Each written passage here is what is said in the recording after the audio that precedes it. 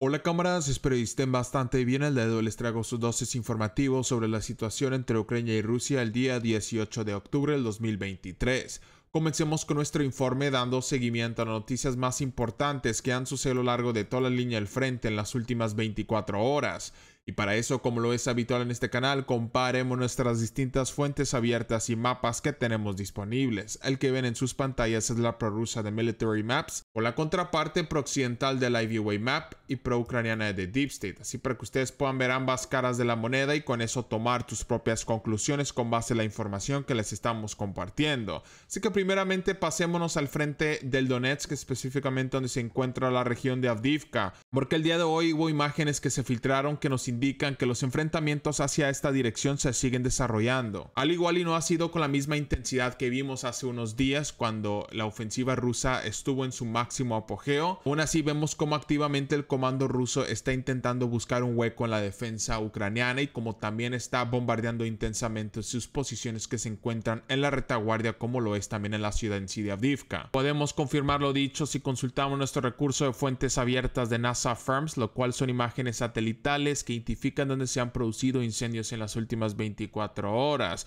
Podemos observar que la artillería rusa está enfocando su fuego en la retaguardia ucraniana como también los campos abiertos donde potencialmente se encuentran los principales puntos de despliegue y sistemas de artillería que están esencialmente atacando la ciudad en sí del Donetsk.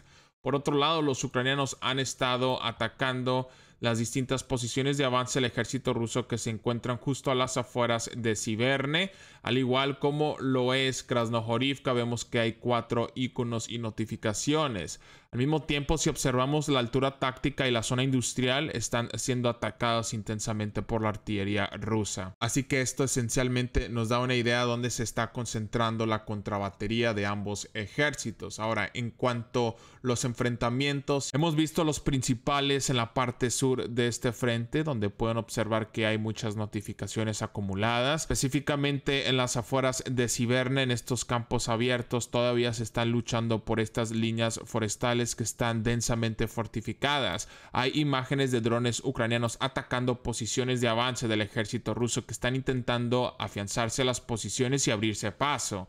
Hasta el momento los combates se siguen desarrollando, no hemos visto cambios territoriales, pero es muy probable que en las próximas horas tengamos los resultados de estos enfrentamientos, que ocasionalmente se dan con grupos de asalto y pocas veces con el apoyo de vehículos blindados ya que no quieren ser presas fáciles de los sistemas antitanque y artillería ucraniana que está concentrando su fuego hacia todo lo que se está moviendo en estos campos abiertos. Ahora, si nos pasamos a la entrada de la ciudad en Sidavdivka, donde tiene la frontera con la región del Donetsk, vemos que también aquí hay una gran cantidad de notificaciones y esto es porque el día de hoy los rusos están activamente ejerciendo maniobras de asalto hacia las distintas posiciones ucranianas que se encuentran sobre este puente y cruce que se puede apreciar en el mapeo satelital. De hecho, hay un video que se filtró que muestran cómo las unidades rusas están activamente rotando sus unidades unidades que están luchando en esta parte del frente. Me pareció muy interesante. Aquí apreciamos un BMP que está rápidamente llegando a una trinchera que se encuentra en medio de la carretera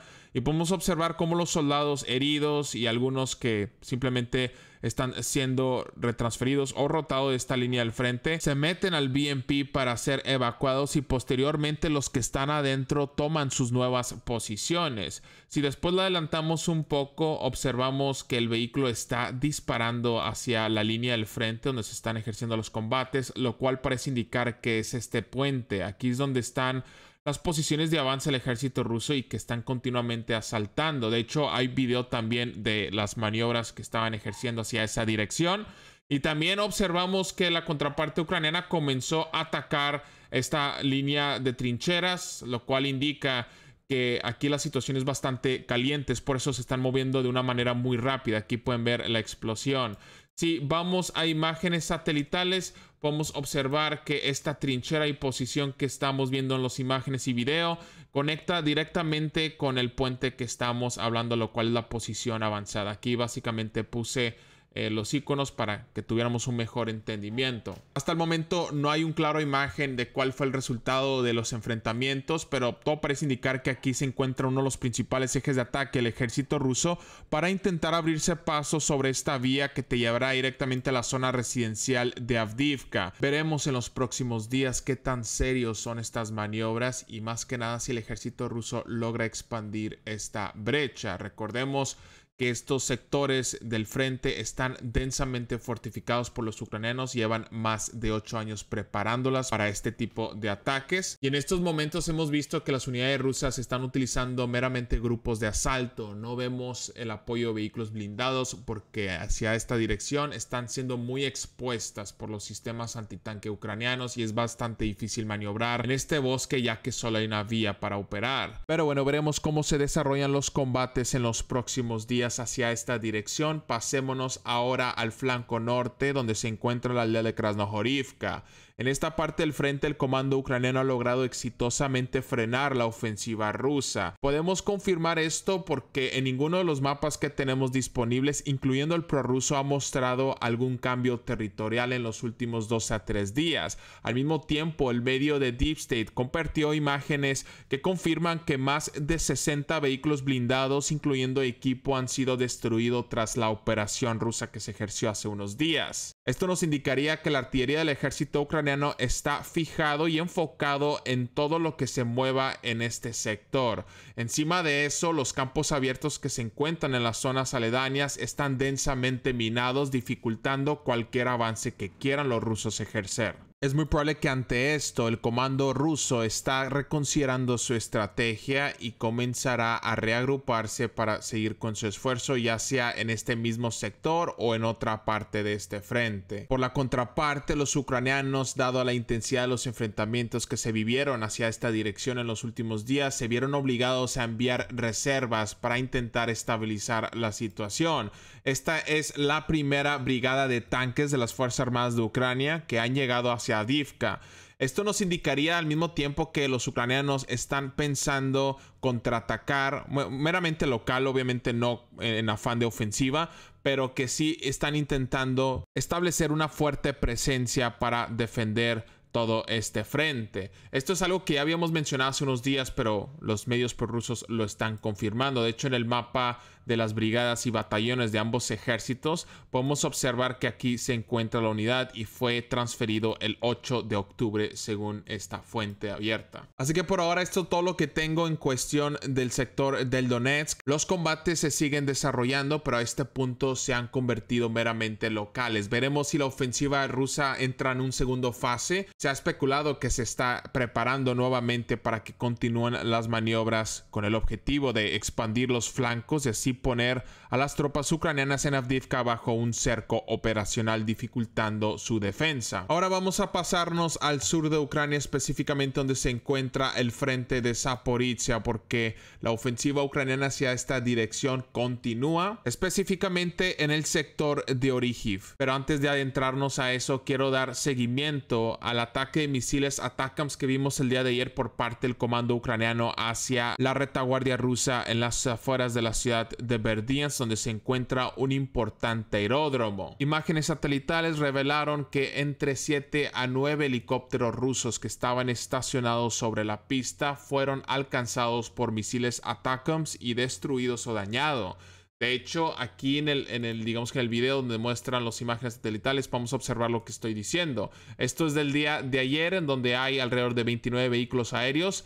Y hoy podemos observar los puntos negros y cráteres tras la explosión. Aquí se ve una mejor resolución y podemos ver que el ataque causó daño hacia la Fuerza Aérea Rusa. Ahora, muchas personas están preguntándose y analizando que cuántos de estos vehículos fueron realmente destruidos. En mi opinión, nunca lo vamos a saber porque no tenemos videoconfirmación de cerca y es menos factible que las autoridades rusas comparten esa información por obvias razones. Así que como lo mencioné el día de ayer, esto da un claro mensaje de que cualquier tipo de base, depósito de munición, punto de despliegue o punto logístico que se encuentra en el sur de Ucrania ya no está seguro con estos misiles operando en el lado ucraniano.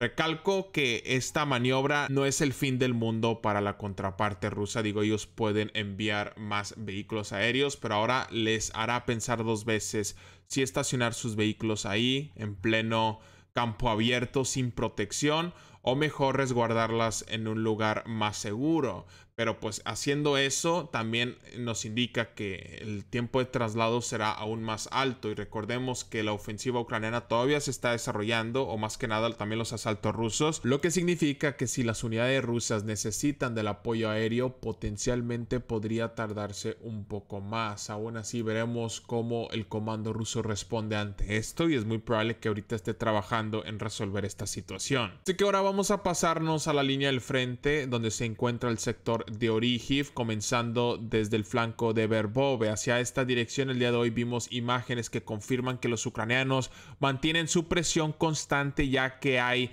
un video de combatientes de la 14 Brigada de Asalto atacando distintas posiciones fortificadas rusas que se encuentran justo en las afueras de la aldea. Aquí en las imágenes pueden observar la intensidad que se están dando en estos asaltos. Ahora, al mismo tiempo vimos por el lado ucraniano el trabajo de drones que están activamente operando sobre Verbove y atacando los principales puntos de despliegue para evitar que los rusos puedan maniobrar en su defensa y claramente lo podemos ver en las imágenes. Aún así, tras los enfrentamientos no hemos visto en ninguno de los mapas disponibles cambios territoriales, lo que puede indicar dos cosas. Uno es que el ejército ruso ha logrado repeler todos los asaltos, como lo está informando el Ministerio de defensa o dos que tendremos que ser pacientes y esperar a que los combates se desarrollen para tener el resultado de la operación.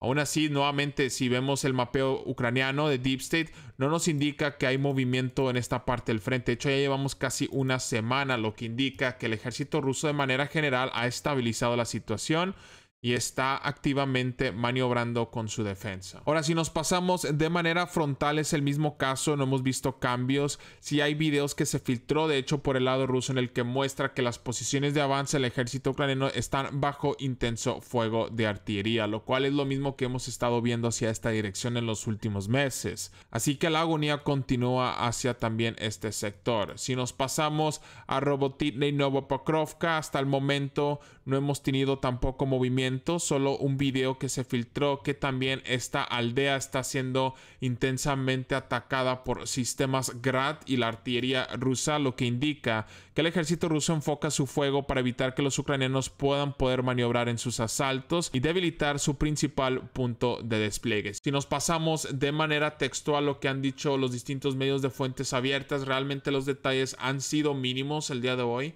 pero Wargonzo, lo cual es una fuente prorrusa, ha indicado en su informe que el ejército ruso con el apoyo de la artillería está intentando retomar la iniciativa hacia esta dirección y que está contraatacando en Kopani, Novodanilovka, como también lo es en Robotino. Al mismo tiempo, ellos también agregaron que en Verbove se están ocasionalmente ejerciendo maniobras de contraataque. Esto recalco viene por el lado ruso. Si nos vamos a la contraparte pro-ucraniana, realmente no hay muchos detalles, pero si nos vamos con base a esta fuente abierta, ellos nos indican que hacia la dirección de Zaporizhia el ejército ucraniano ha, repelido todos los ataques al este de Malatokmachka, es decir, Verbove. Así que eso es toda la información que están dando. El Ministerio de Defensa ucraniano se agregó que lograron derribar un avión de combate ruso Su-25, pero realmente no hay imágenes que lo confirmen. Así que por ahora es toda la información que tenemos disponibles. Los combates se siguen desarrollando. Tendremos que ser un poco más pacientes a que tengamos los resultados de los enfrentamientos que se están dando el día de hoy. Ahora vamos a pasarnos al sector de Gerson, porque el día de hoy el río de Dnipro ha sido el foco principal de atención porque las unidades ucranianas de reconocimiento están activamente cruzando el río y más que nada tomando posicionamiento en los pueblos en el territorio controlado por los rusos. Ahora, como lo mencioné el día de ayer y lo vuelvo a recalcar ahora, esta maniobra por parte del ejército ucraniano es más una operación de reconocimiento y no una ofensiva tal cual. Esta no es la primera vez que lo vemos y de hecho en las últimas semanas, en este mismo mes, Hemos visto cómo los ucranianos están activamente operando sobre estos ríos que se encuentran en las islas que están entre ambos de estos territorios y cómo también la contraparte rusa está ocasionalmente también maniobrando y operando. Así que teniéndolo dicho en cuenta, el ejército ucraniano está intentando reconocer el área y más que nada buscar dónde se encuentran las concentraciones rusas, cuál es el tiempo de respuesta, si hay algún tipo de depósito de munición, puntos logísticos para ellos esencialmente